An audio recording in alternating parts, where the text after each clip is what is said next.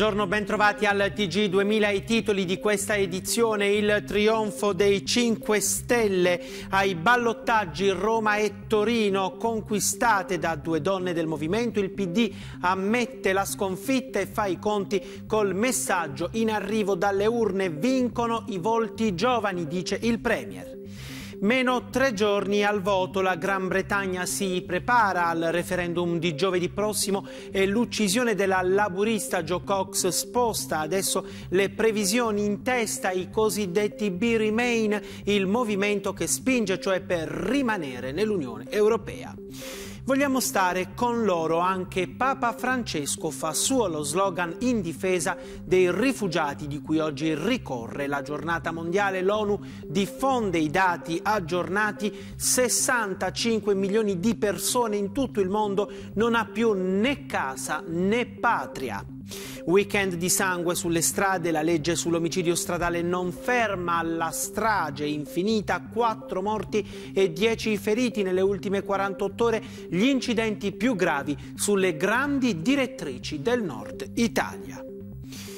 Dunque in apertura l'esito dei ballottaggi nei 123 comuni dove ieri si è votato, a Roma e Torino trionfano le donne 5 Stelle, il PD parla di sconfitta senza attenuanti, sarò il sindaco di tutti, dice però la Raggi nella capitale che assicura la linea dell'onestà, ricuciremo una città ferita, le fa eco da Torino la Appendino, subito con Federico Plotti i numeri del voto, poi da Milano Luciano Piscaglia ci racconta la vittoria di misura di Giuseppe Sala e del PD. Vediamo.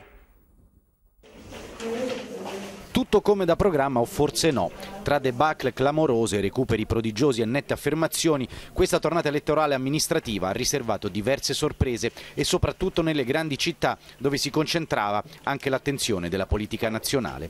La vera novità arriva da Torino, dove il recupero della 32enne candidata del Movimento 5 Stelle Chiara Appendino ha del clamoroso.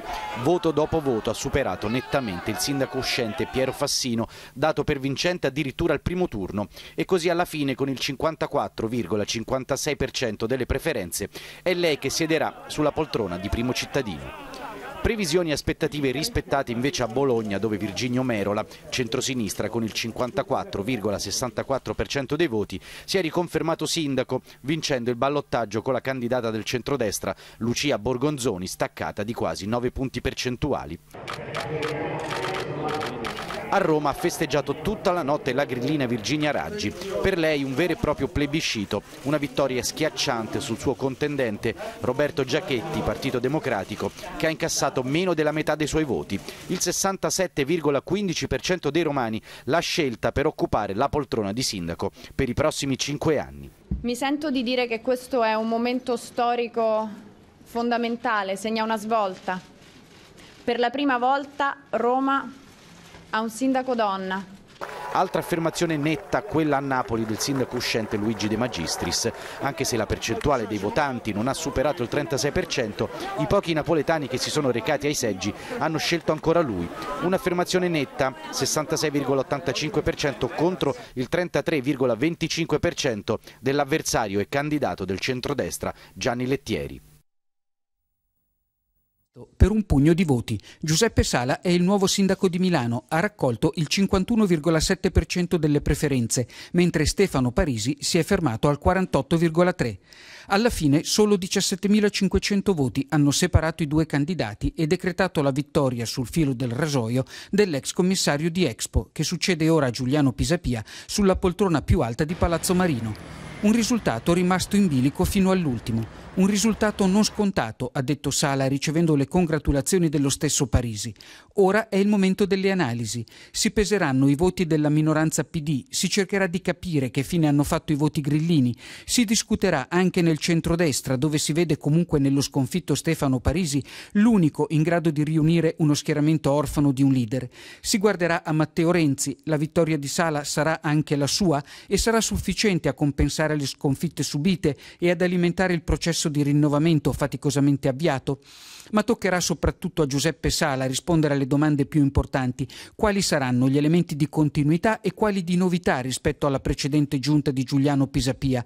Ma soprattutto come contrastare la sfiducia dei milanesi che si sono astenuti. Ha votato infatti solo il 51,4% degli aventi diritto. È un dato storico, non era mai accaduto che un milanese su due disertasse le urne. E l'esito del voto alle amministrative si ripercuote inevitabilmente sul piano nazionale. È soltanto l'inizio, dice Beppe Grillo, mentre lo stesso direttorio pentastellato ammette che le dimensioni del successo hanno superato ogni aspettativa. Scenari ed equilibri rispetto alla politica ora del Paese li vediamo con Augusto Cantelmi.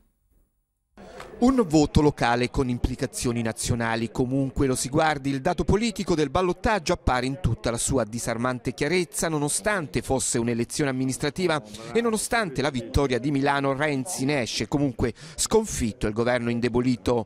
A Roma, come a Torino, vince il Movimento 5 Stelle capace di intercettare al secondo turno gli elettori del centro-destra, incrementando il bacino di voti.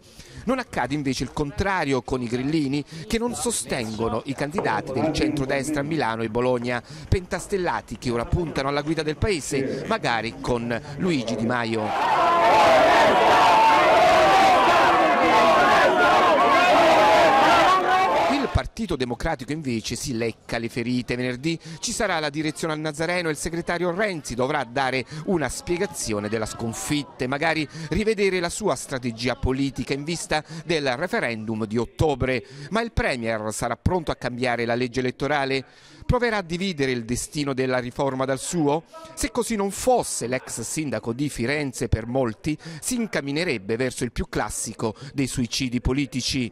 Ma se il PD è con le spalle al muro, anche al centro-destra non resta che piangere a parte Savone e Trieste. Per il resto è una sconfitta dopo l'altra, il declino di Berlusconi pesa, mentre la leadership di Salvini non è mai nata.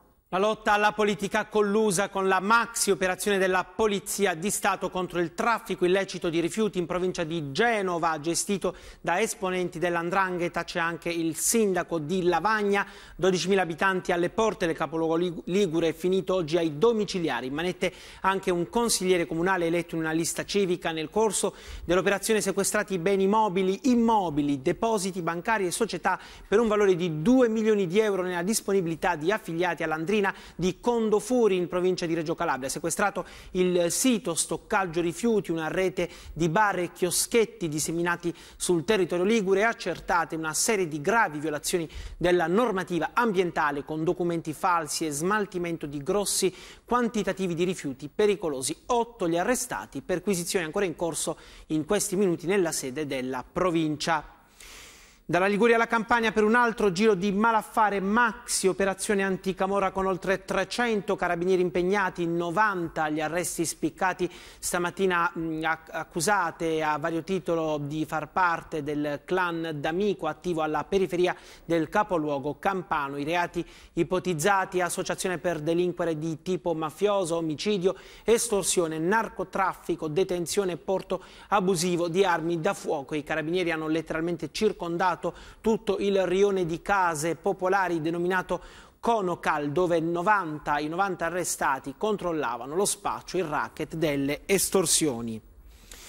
Vogliamo all'estero in Gran Bretagna dove dopo l'uccisione della deputata laburista Joe Cox per mano di un estremista di destra, area di cambiamento sul voto di giovedì prossimo, secondo i primi sondaggi pubblicati in queste ore, balza in avanti il movimento Remain che intende cioè rimanere nell'Unione Europea. Seguiamo Giorgio Schiavoni. È cambiato il vento in Gran Bretagna. L'esito del referendum di giovedì sull'adesione del paese all'Unione Europea è stato fortemente influenzato dall'uccisione della parlamentare laburista della scorsa settimana. Tutti i sondaggi effettuati dopo l'omicidio danno i fautori della permanenza nell'UE in vantaggio, così come le società di scommesse, i bookmakers, registrano una massiccia avanzata delle probabilità di un Remain. La vittima, Joe Cox, era convintamente filo europea, mentre l'assassino, Thomas Mayer, di cui oggi riprende il processo, è un estremista nazionalista favorevole alla fuoriuscita del Regno Unito dal consesso europeo. È come se parecchi elettori avessero aperto gli occhi sugli eccessi di una campagna pro-Brexit che ha demonizzato gli immigrati provenienti dagli altri paesi dell'Europa, scaricando su di loro tutti i problemi del paese. Positiva la risposta dei mercati, le borse sono tutte in positivo, lo spettro della Brexit, fonte di rischi e instabilità per un'economia europea e mondiale in affanno, si allontana e gli operatori finanziari tirano un sospiro di sollievo. Il Parlamento britannico si riunisce oggi per rendere omaggio alla giovane deputata che stava lavorando a un rapporto sulle violenze ai danni dei musulmani nella sua circoscrizione elettorale. Nell'ultimo anno sono quasi raddoppiate, aveva scoperto la Cox, soprattutto per mano di xenofobi e ultranazionalisti. Ora una notizia di cronaca di questa mattina. Un neonato è stato ritrovato in un cassonetto dell'immondizia col cordone ombelicale ancora attaccato in pieno centro. Siamo a Santa Maria di Sala, 20 km da Venezia. Per fortuna il piccolo è vivo. Una donna, stando a quanto riferisce il Gazzettino, avrebbe sentito nella notte il pianto disperato del piccolo provenire dal bidone dei rifiuti. Ha dato l'allarme all'arrivo dei soccorsi. Il neonato Carnagione Bianca è apparso affamato ma in buone condizioni. Adesso è ricoverato in ospedale per accertamenti.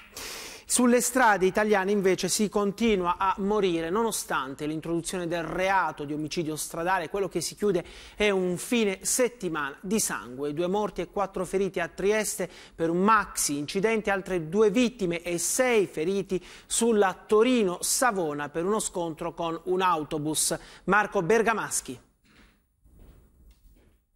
Una norma che a tre mesi dal varo purtroppo non ha fatto calare significativamente incidenti e vittime della strada. Stiamo parlando del reato di omicidio stradale, introdotto a marzo per colpire i pirati della strada, che tra l'altro prevede pene fino a 18 anni di carcere e il ritiro della patente prolungato fino a 30 anni nel caso ci sia omissione di soccorso. Solo nell'ultima settimana la cronaca parla di due arresti con questa accusa. Nel Siracusano fermato un neopatentato diciannovenne che ha perso il controllo dell'auto andando a sbattere contro un muro. A bordo un diciottenne ha perso la vita. Dagli accertamenti il guidatore è risultato positivo all'alcol test. Arrestato anche un 35enne di origine rumena che a Taranto ha travolto e ucciso una mamma a passeggio con una delle figlie per poi fuggire senza fermarsi.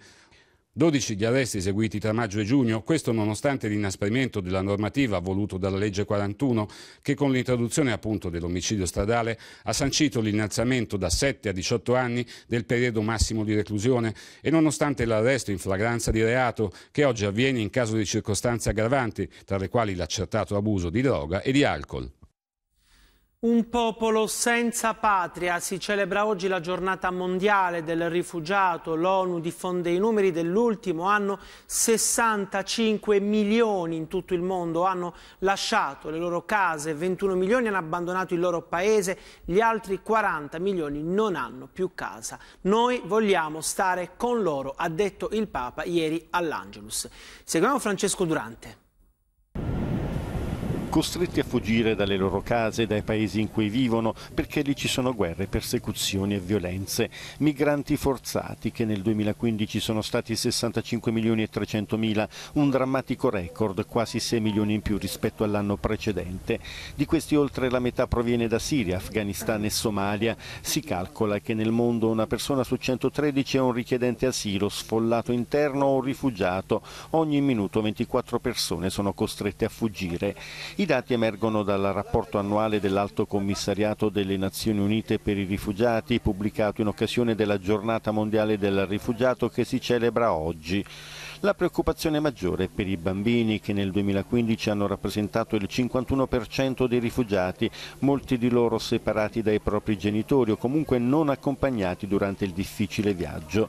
Nella geografia delle migrazioni forzate al primo posto troviamo il Medio Oriente, anzitutto la Siria, con la guerra che ha dato origine ad almeno 4,9 milioni di rifugiati e 6,6 milioni di sfollati interni. La Turchia è il principale paese ospitante con 2 milioni e mezzo di rifugiati rifugiati, ma negli ultimi mesi Ankara ha rafforzato le misure di sicurezza ai confini e proprio ieri almeno otto profughi siriani, tra cui quattro bambini, sono stati uccisi dall'esercito turco mentre tentavano di attraversare la frontiera. Un'ennesima tragedia della disperazione, consumatasi alla vigilia della giornata mondiale del rifugiato, ricordata ieri dal Papa all'Angelus domenicale. Con i rifugiati noi stiamo dalla parte di chi è costretto a fuggire. Questo è il tema scelto dalle Nazioni Unite per la ricorrenza che ha dato occasione a Francesco per risvegliare ancora una volta le coscienze del mondo. I rifugiati sono persone come tutti, ma alle quali la guerra ha tolto casa, lavoro, parenti, amici. Le loro storie e i loro volti ci chiamano a rinnovare l'impegno per costruire la pace nella giustizia. Per questo vogliamo stare con loro, incontrarli, accoglierli, ascoltarli, per diventare insieme artigiani di pace secondo la volontà di Dio.